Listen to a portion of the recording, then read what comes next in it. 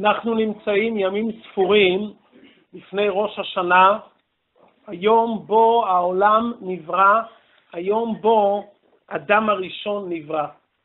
ראש השנה נקרא ראש, כשם שהראש הוא האיבר הכי חשוב בגוף האדם, וכשם שהראש מנהיג את כל האיברים כולם, ולפי ההוראות והפקודות שהראש נותן, ככה האיברים זזים, נעים וכולי, ככה ההתנהגות שלנו בראש השנה ובעשרת ימי תשובה, שהם הימים שהם בבחינת ראש לכל השנה, משפיע על כל השנה כולה.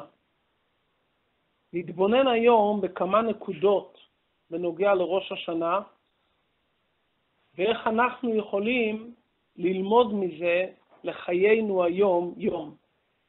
התורה הרי היא תורת חיים, התורה היא תורה נצחית, וכל חג וכל מאורע בעם ישראל יש לו משמעות פנימית, אישית, לכל אחד ואחת מאיתנו. בריאת העולם הייתה על ידי רצון טוב של בורא העולם להעניק לברואיו טוב וחסד. בלשון הפסוק, כי חפץ חסד הוא. הקדוש ברוך הוא רצה להעניק מטובו לנבראים, ובהתעוררות מלמעלה, בלשון החסידות והקבלה, התערותא דלעילא, הקדוש ברוך הוא ברא את העולם.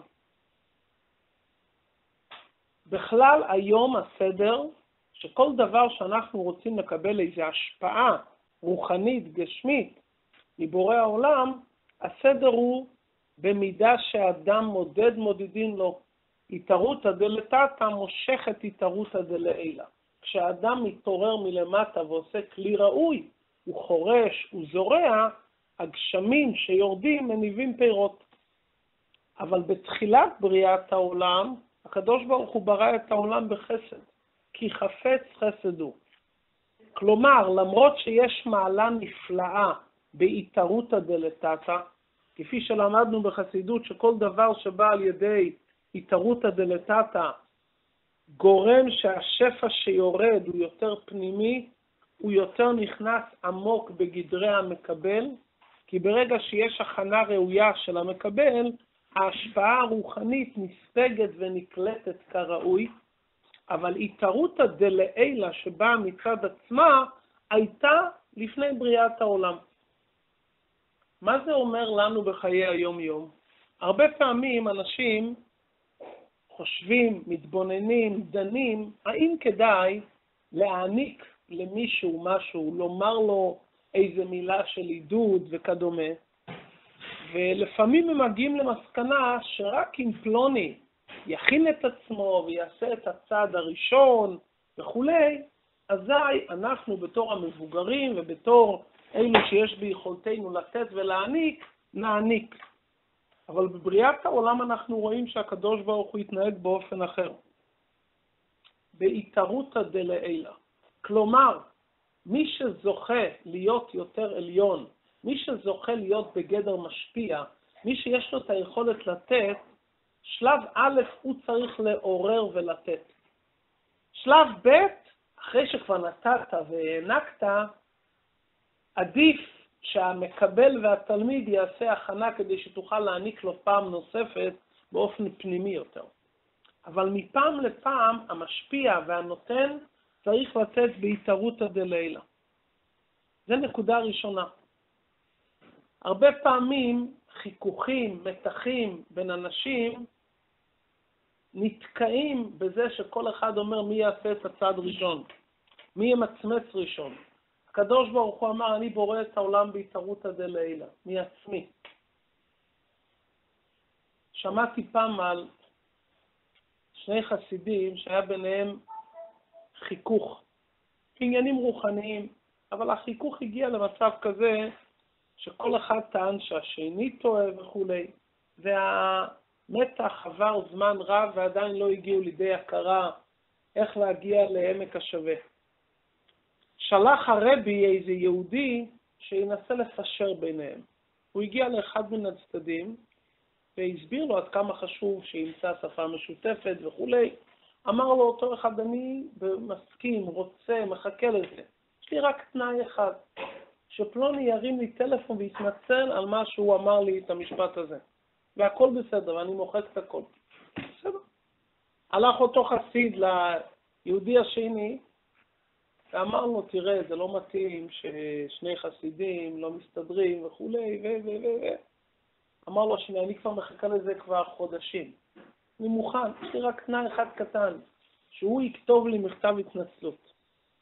נו, אז כל אחד חיכה שהשני יהיה הראשון שיעשה את, ה, את הצעד הראשון. עבר כמה ימים, הרבי שואל את אותו חסיד, מה נשמע עם מה שדיברנו? אז הוא סיפר לרבי ששניהם רוצים מאוד, אבל כל אחד רק מחכה שהשני יעשה את הפתחי לי, פתח כחודו של מחד, את הצעד הקטן. אמר הרבי, התשובה לכך יש במתן תורה. במתן תורה היה חיבור בין עליונים ותחתונים. הקדוש ברוך הוא ירד על הר סיני, עד אז השמיים שמיים להשם, והארץ נתן לבני אדם. מה קרה במתן תורה? היה חיבור. מי היה הראשון שעשה את הצעד הראשון? הקדוש ברוך הוא, העליון. ואני המתחיל, וירד השם על הר סיני. אמר הרבי לאותו שליח, תאמר להם, שמי שיעשה את הצעד הראשון הוא בצד של הקדוש ברוך הוא. כי במתן תורה, הראשון שהתחיל היה העליון. זאת אומרת, אם אתה מחכה לא לעשות את הצעד הראשון, אתה, אתה בגדר התחתון. כי העליון עושה את הצעד הראשון. מי שבאמת מרגיש שהוא נציג של הקדוש ברוך הוא, והוא נציג שהוא עומד במקום יותר גבוה, הוא עושה את הצעד הראשון. זה היה בתחילת בריאת העולם, בהתערותא דלעילא. זו נקודה מאוד חשובה, שתמיד לא צריכים לפחד לעשות את הצעד הראשון. וגם אם עשית את הצעד הראשון ולא הצליח, יכול לעשות גם את הצעד השני והשלישי, ותקרא לזה ראשון. אפשר תמיד לקרוא לזה ראשון, בסוף הצעדים הראשונים שתעשה יחדרו ויפעלו את פעולתם. ככה השם ברא את העולם, בהתערותא דלעילא. הוא לא חיכה שיהיה התערותא דלתתא. זו נקודה ראשונה. נקודה שנייה, למרות שהעולם נברא בכ"ה באלול, אנחנו חוגגים את ראש השנה ביום ברוא האדם. למרות שהאדם הוא אחרון לבריאת העולם, ולפניו נבראו רבים לפניו, דומם, צומח, חי, מדבר, והאדם נברא אחד ויחיד, ראש השנה נקבע ביום ברוא האדם. כאן יש נקודה מאוד חשובה ועיקרית. בעולם שלנו יש כמות ואיכות. אם מסתכלים מבחינה כמותית, בוודאי שלפני ברוא האדם היה כמות גדולה יותר. השם ברא את העולם שהדומם הוא הרבה יותר מהצומח, הצומח הוא הרבה יותר מהחי, והחי הוא הרבה יותר מהמדבר. המדבר זה מספר מאוד קטן ביחס לבריאה כולה, אבל המדבר, המעלה שלו, שהוא איכותי ביחס לכל הבריאה כולה. השלימות של האדם, שהאדם משתמש בשכל לשרת את מה שלמעלה מהשכל. המעלה של האדם זה מדבר. המדבר יש לו נשמה ויש לו שכל במוחו, והאדם שחושב מה רוצה ממנו בורא העולם, הוא משתמש בשכל כראוי. ההבדל בין שכל של בעלי חיים ושכל של אדם, שכל של בעלי חיים נוטה כלפי מטה. כלומר, השכל זה כדי להשיג צרכים בסיסיים. האדם, השכל זה כדי להסתכל כלפי מעלה. להשיג דברים יותר רוחניים, יותר מהותיים. וכמה שאדם מבין על פי שכל להסתכל כלפי מעלה, הוא יותר אדם. ההבדל בין אדם לבהמה, איפה הכיוון חשיבה, מעלה או מטה. בהמה מסתכלת כלפי מטה, אדם מסתכל כלפי מעלה. אם השכל שהשם בירך כל אחד מאיתנו חושב רק על צרכים פיזיים גשמיים, כלומר שאנחנו מורידים את הראש כלפי מטה, אז אין הבדל מהותי בין אדם לבעל חי. המעלה של האדם שהוא בחר לקבוע שכל הנבראים כולם ישתפו פעולה ויכירו שהקדוש ברוך הוא המלך, מכיוון שהאדם הראשון הסתכל כלפי מעלה והבין שכל הבריאה באה מהקדוש ברוך הוא, ולכן הנבראים צריכים להתאחד עם מקורם, כלומר עם נשמתם, עם החלק אלוקם ממעל ממש שמעליהם. מה זה אומר לנו בחיי היום-יום? הרבה פעמים כשאנחנו מסתכלים מסביבנו, אנחנו רואים שהכמות שמסביבנו היא כמות הרבה יותר גדולה. בפשטות, עם ישראל אתם המעט מכל העמים. אחוז, חצי אחוז, משהו מינורי ביותר. בתוך עם ישראל עצמם, אותם יהודים שמדקדקים ושומרים על המצוות, בתוך עם ישראל גם הם עדיין במספר מועט. שואל האדם את עצמו, רגע, אני לא מבין, אם האמת נמצאת אצלי, איך יכול להיות שעם ישראל הוא המעט מכל העמים?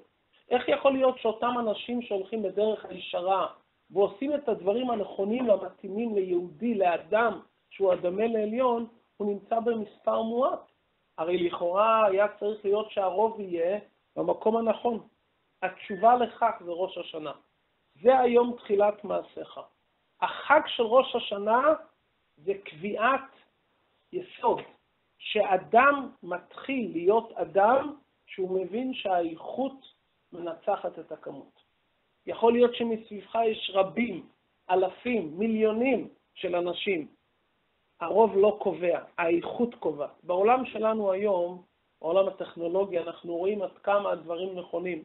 פעם חשבו שכמויות מנצחות, היום אנחנו יודעים שהכל עובד דרך איכות. שהמכשיר יותר חכם, שהכלי יותר חכם ויותר איכותי, הוא פועל שלא בערך. זו נקודה מאוד חשובה לכל אחד מאיתנו, לדעת שלמרות שנמצאים בעולם שרוב האנשים יותר עסוקים בעניינים ארציים, יותר עסוקים בעניינים חומריים, העולם כל כולו רץ למקום הפיזי והחומרי, ומעט אנשים מתעסקים בעניינים שכליים רוחניים.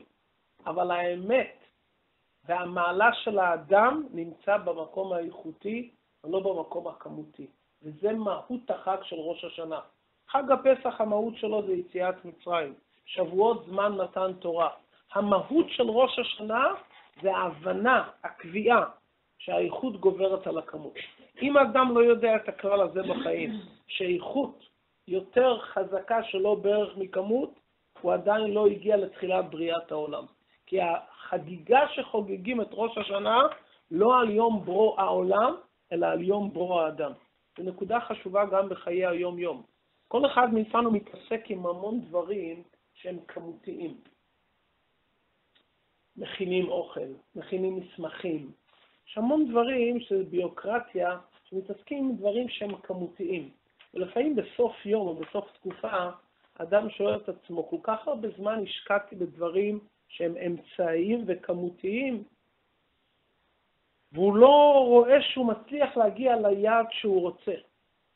ככה השם ברא את העולם, שהכמות תופסת יותר מקום, והדברים שהם בגדר אמצעי תופסים יותר מקום ויותר זמן.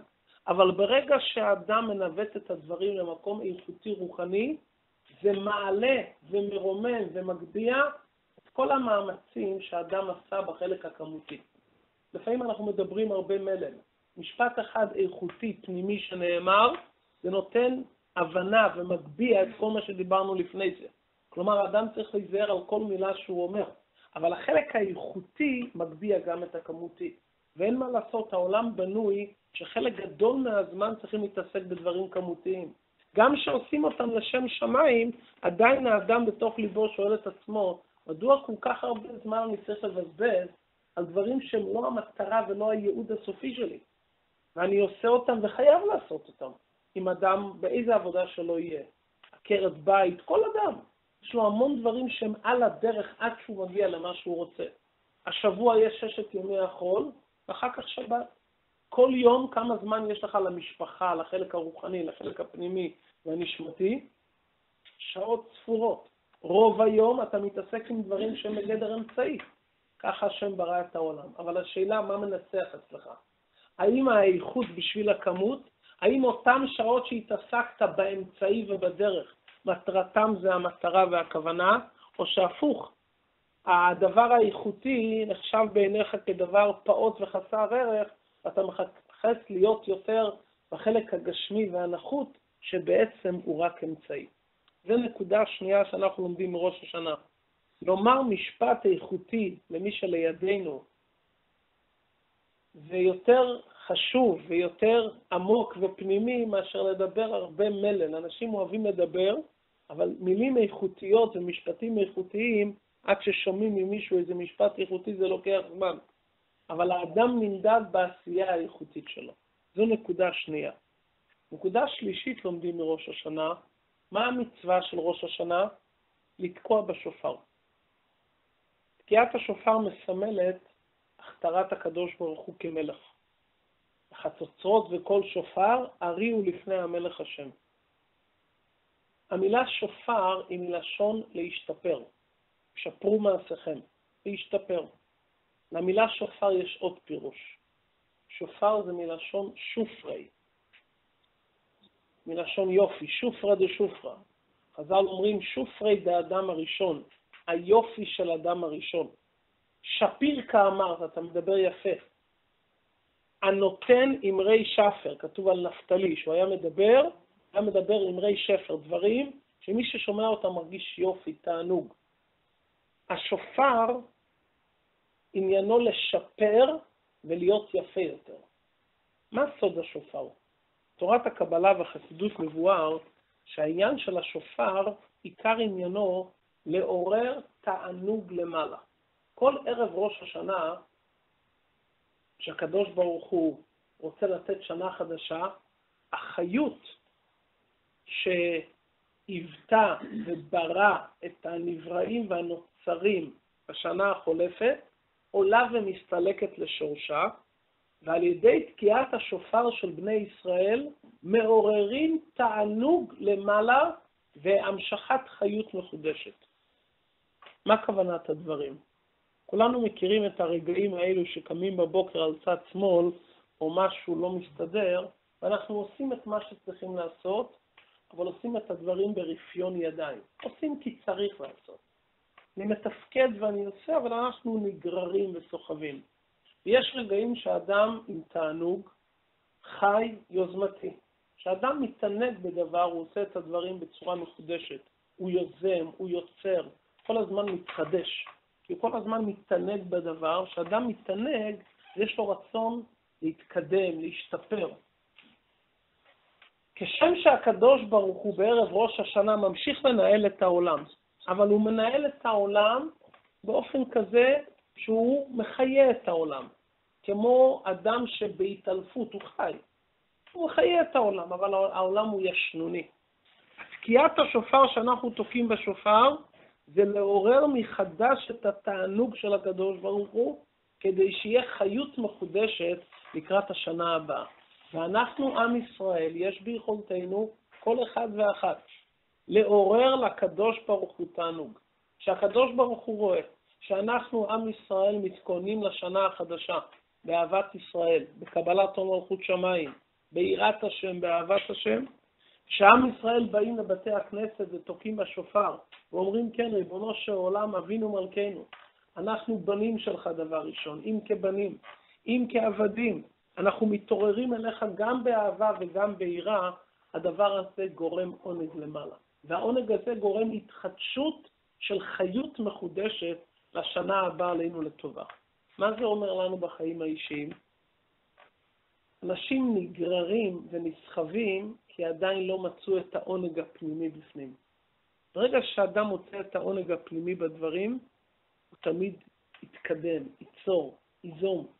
ברגע שאדם לא מצא את העונג בפנים, הוא לא יודע מה הוא עושה בדיוק. רגע, אז מה אני עושה? עוד פעם אני קם, עוד פעם אני הולך לעבודה. הוא מאבד את החלק של העונג הפנימי שבתוכו, קשה לו להתקדם ולעשות את הדברים באופן שמח ויצירתי. איך מוצאים את העונג? מוצאים את העונג שמתבוננים בשליחות האלוקית שזכינו אליה. הרי יש בעולם כל כך הרבה דומם וצומח וחי ומדבר. ומבין כל אלו נבחרו בני ישראל לחגוג את ראש השנה. אומות העולם לא חוגגים את ראש השנה, למרות שמה שיקרה עם כל אומות העולם נקבע ביום ראש השנה. הם לא יודעים מזה. מי אחראי לבסס את המלכות של הקדוש ברוך הוא בעולם ולקבל אותו כמלך ולגרום לו תענוג? אנחנו בני ישראל, ש... שאותנו הקדוש ברוך הוא בחר, כל אחד ואחת מאיתנו, שאנחנו בעבודה שלנו, בשמחה שלנו, ברצון הטוב שלנו, להיות כל אחד מאיתנו עדות לבורא העולם, בזה אנחנו גורמים עונג למעלה. כשאדם מתבונן בזה, באחריות שלו, בזכות, כשאדם זוכה לשרת את המלך, כשאדם זוכה לעשות את רצון המלך, והמלך אומר לו, אני סומך עליך באופן אישי, אתה תעשה את הדברים. ובחרתי בך מתוך מיליוני ומיליארדי אנשים, כי עליך אני סומך. רק אם האדם יתבונן בזה ויקח את זה ברצינות, ויבין שעליו מוטלת האחריות, יותר לעצמנו שהאדם הראשון לא היה. עולם בלי אנשים, אין לזה שום משמעות. האדם הראשון שבא ונתן משמעות לכל הבריאה כולה, העלה את הדומם צומח חי והבריאה כולה התעלתה. בתוך מין המדבר בעצמו, שהיהודי עושה את השליחות שלו, הוא נותן חיים, הוא נותן משמעות לכל מין המדבר. כי זה ברור שאותם אנשים בעולם שמתעסקים באמצעים, והם מתעסקים בגשמיות ובחלק הכמותי, הם עוד לא נגעו בנשמת העולם. כי הם עסוקים בחלק של החומר. בחלק של החומר, בחלק החומרי, שלכולי עלמא, כל מי שיש לו טיפת הבנה, מבין שלא יכול להיות שהעולם נברא בשביל חומר וגשם. העולם נברא בשביל רוח. העולם נברא להגביר את הצורה על החומר. העולם נברא כדי להגביר את הנשמה על הגוף. העולם נברא כדי לתת עומק, נפש, פנימי. אף אחד לא יעלה בדעתו שבגוף האדם העיקר זה הבני מעיים. הבני מעיים הם בשביל שהאדם יוכל לחיות ולהתקיים ולעשות את השליחות שלו. בשביל מה האדם? יש לו מוח לב. בתוך המוח והלב יש את הנשמה של האדם. הניצוץ האלוקי שהוא חלק אלוקם ממעל ממש. אז אותם אלו שזכו להיות מודעים לזה שיש בעולם חלק אלוקם ממעל ממש, והם משתדלים להתנהג לפי החלק אלוקם ממעל ממש שנמצא בתוכם, הם בעצם נמצאים באמצע העולם, במרכז של העולם, במרכז הפנימי והנשמתי של העולם. אבל הטבע של הדברים, שאתה רואה שכולם מתעסקים בחומר, כולם רודפים אחרי החומר, ונדמה לך שזה הדבר העיקרי. וכשאתה מתבונן, בלשון החסידות, אליבא דנפשי, כשאתה מתבונן בכובד ראש, ברגע רציני, אתה מבין שלא יכול להיות שהמטרה של הדברים היא רק לרדוף אחרי דברים חומריים, ושאני אהיה יותר מוצלח בחלק הזה. אם יש לי לב יותר טוב, מידות טובות, הנהגה יותר טובה ומועילה, פנימית ועדינה, או, אני מתחיל להיות אדם הדומה לעליון. ולכן החלק האיכותי נמצא ביד עם ישראל, והחלק האיכותי נמצא ביד אלו שמוכנים לקחת אחריות. ברגע שאדם מתבונן בכל הדברים האלו, הוא מתמלא תענוג. ראש השנה זה הזמן לעורר את התענוג הפנימי אצלנו, בשליחות הפנימית שלנו, ועל ידי זה לעורר את התענוג הפנימי לקדוש ברוך הוא. אם כן, זה העבודה שלנו בראש השנה. דבר ראשון, אנחנו מתחילים. מישהו מרגיש שהוא עליון, הוא מתחיל בהתערותא דלילה. נקודה שנייה, לתת מקום ודגש על החלק האיכותי יותר מהחלק הכמותי, בחיים, בדיבורים. והנקודה השלישית, למצוא את החלק של העונג. מי שמרגיש עונג, משתפר כל הזמן. מי שמרגיש את השופר, מרגיש את היופי של הדברים, בדרך ממילא הוא ישתפר כל הזמן. אדם שלא מחפש להשתפר כי הוא סוחב, כי הוא גורר. הוא לא מצא את החלק שגורם לו שפיר, יופי. הוא לא מצא את האמרי שפר ואת התענוג, ולכן אצלו הדברים נמשכים ונגררים. זה מה שחז"ל אומרים, שיהודי שנמצא בעולם ועושה את השליחות שלו בעולם, הוא נמצא כבן מלך ועבד מלך מלך. הבן של המלך או העבד של המלך שעומד לשרת את אדונו, ישראל בני מלכים עד שהם מלכים ממש. בשביל זה האדם צריך להתבונן בנקודה פנימית, וכמה שאדם יותר מתבונן בנקודה הפנימית, הוא מוצא את הכיוון הפנימי. וכל שנה ושנה יש איזו שליחות מיוחדת שקשורה עם השנה הבאה עלינו לטובה. השנה הבאה עלינו לטובה היא שנה שלפי הלוח היהודי לבריאת העולם, ה' אלפים תש"פ, 5,780. אנחנו מסיימים את שנת 5,779 ונכנסים לה' אלפים תש"פ. לכל דבר יש משמעות. המילה פ', תהי שנת פ', מה אנחנו מכירים בפ'? דבר ראשון, פ', פה, הפה של האדם. שנה שאדם צריך לשמור יותר על הפה שלו. איך מלך מנהל את המדינה? על ידי דיבור, בדבר מלך שלטון. אנשים מזלזלים בפה. אומרים, לא עשיתי שום דבר, רק אמרתי כמה מילים. כך נפגעת מזה? באמת לקחת אותי ברצינות? אמרתי כמה מילים. אבל המעלה של האדם שהוא נקרא מדבר. לעשות, גם מכונות יכולות לעשות דברים יותר מועילים ודברים יותר איכותיים מהאדם. הכוח של האדם זה לדבר. לדבר דיבור נכון, לדבר דיבור שיבנה. שמעתי מהרבה מה הסימן שדיברת דיבור טוב? שהדיבור שלך הוביל לעשייה אצלך ואצל השומע. סימן שדיברת טוב. אם דיברת והדיבורים לא הבילו אצלך לעשייה, והשומע גם לא לקח מזה משהו מעשי, הדיבור לא היה דיבור אמיתי. כי דיבור צריך להיות הנהגה, ידבר העמים תחתינו. דבר, אתה מנהיג את הדברים באופן נכון. כשהשם דיבר, העולם נברא. אנחנו, כשאנחנו מדברים, לא נבראים דברים. אבל כמו שהקדוש ברוך הוא, שהוא דיבר, הדיבור שלו הביא לבניין העולם. ויאמר אלוקים יהיה אור, ויאמר אלוקים יהיה רקיע, ככה דיבור של האדם צריך להביא למעשים. דיבור שלא מביא למעשים, זה לא דיבור של האדם שהוא מדבר. אז השנה הבאה עלינו לטובה זה שנה של פה. תהי שנת פה, לשמור על הפה, שהפה יהיה פה יותר איכותי, פה יותר נעים.